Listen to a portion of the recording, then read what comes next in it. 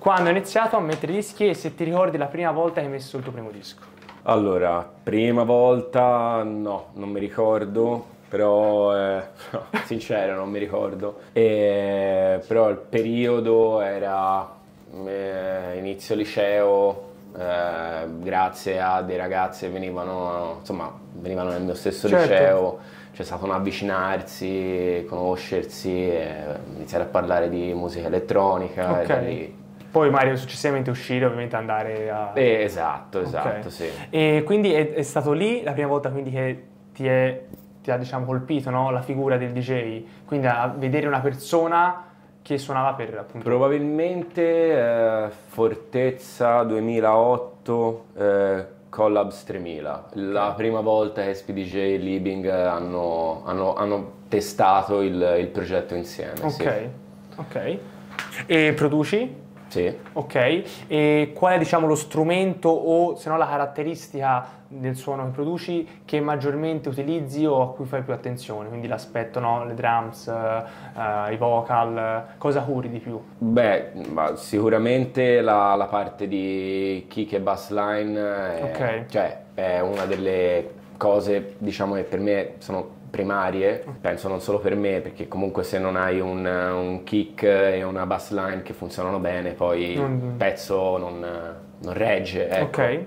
E come ti nascono le influenze musicali nel creare nuova musica? Sicuramente, vabbè, il, il fatto che comunque guardi sempre anche eh, sia al passato, rifacendoti a chi ti può piacere Certo. più o meno, e anche a chi sta facendo musica nel tuo stesso momento. Ok, Mm, generazione mia, ad esempio, ci sono tantissimi artisti che io seguo e stimo, siamo amici. mm, un esempio, Vil o Temudo, dal- mm, i ragazzi di Sì. Ayes Collective da Lisbona, o mm, mi viene in mente Mita, che è un ragazzo di Ischia. ok. Ehm, o comunque, beh, sì, tutti quelli Tu- che bene o serie male fanno parte. Sì, sì, sì. Rilasciare musica sull'etichetta di Libing è stato un po' un cerchio che si chiudeva per me, perché appunto eh, un po' il primo input ce l'ho avuto sentendo lui in fortezza e, e poi adesso- riuscire a essere riuscito a, a rilasciare musica sulla sua etichetta, ne, ne abbiamo anche parlato insieme, siamo fatti delle grasse risate perché appunto era, eh, mi fece oh mind blowing,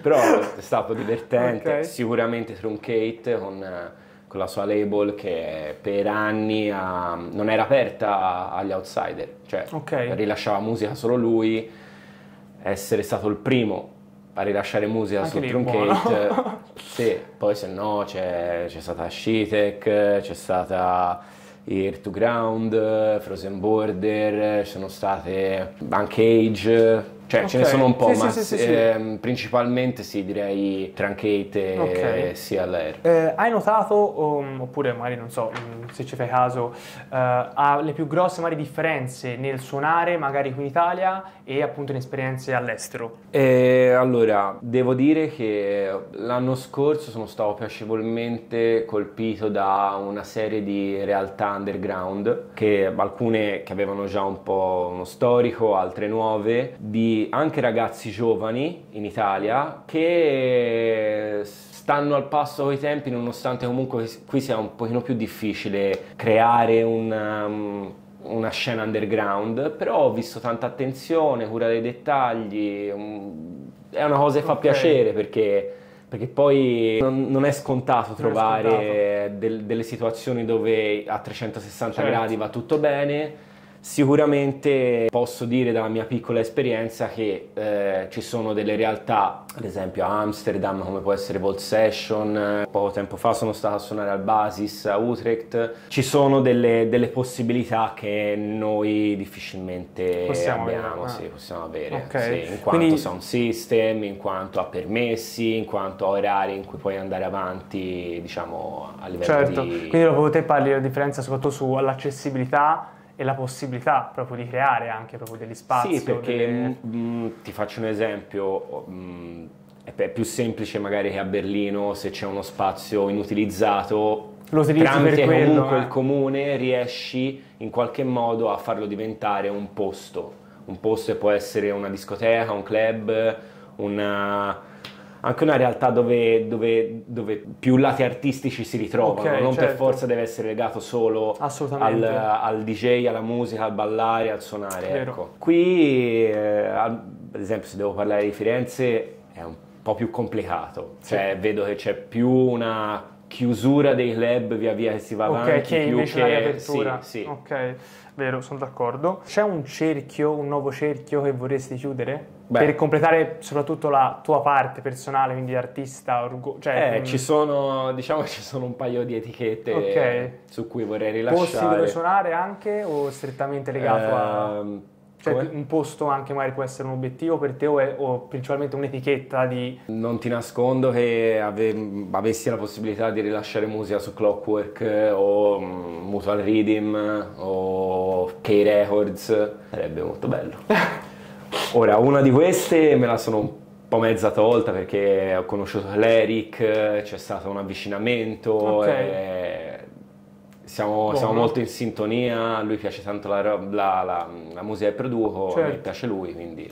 Bomba, direi. Sì. E quindi come- se mi dovessi dire ecco, un club Un invece? club? Sì. Vabbè, scontatissimo, eh, come lo chiamano i tedeschi Perkind, però ce ne sono tantissimi. Certo. Eh, viene anche in mente il Gothic o il Fuse. Mi piacerebbe risuonare al Brett, Ok. perché nonostante non sia enorme, eh, però è bellissimo, si respirano delle Situazione, vibe eh, molto belle e la tipologia di techno che viene proposta per me è Ok, È sì, perché super, certo super non è per forza sempre legato alla grandezza o alla spettacolarità del posto, è anche spesso come te la sei vissuta, magari può essere anche un posto da 20 persone per dirti una stupidaggine. Esatto, c'è il Brett- Però hai una- un'area diversa rispetto a un localone, magari può essere, no? Quindi Sì. anche molto quello fa. Sì, o ad esempio il The School. The School sarebbe fantastico però.